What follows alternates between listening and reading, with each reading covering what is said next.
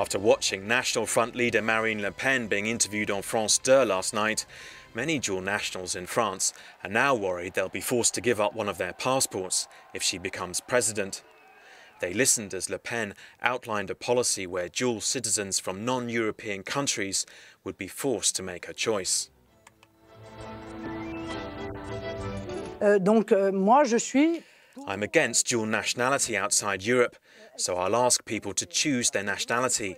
But that doesn't mean that if they do not choose French nationality, that they'll have to leave France. When pressed on which nationalities would be considered European, she stated that Russians would be, but that Americans and Israelis, for example, would not.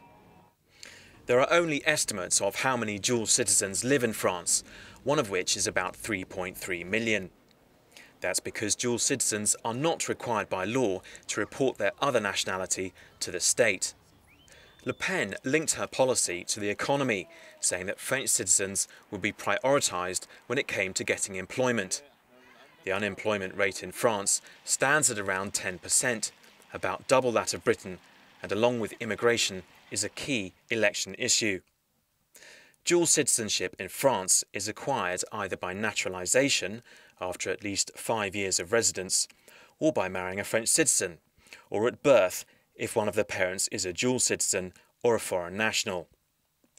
In 2013, 38,000 people became dual citizens, most of them from North Africa, and many from Europe, but also, of course, people from all over the world. Being European, the first group on the left would keep their dual citizenship, whereas the nationalities on the right, Congo, Israel, Morocco, Tunisia, Algeria, are a few of those that would not. As the law stands at the moment, dual citizens can only be stripped of their French nationality if they've harmed the interests of the nation, or they've been convicted of a terrorist offence.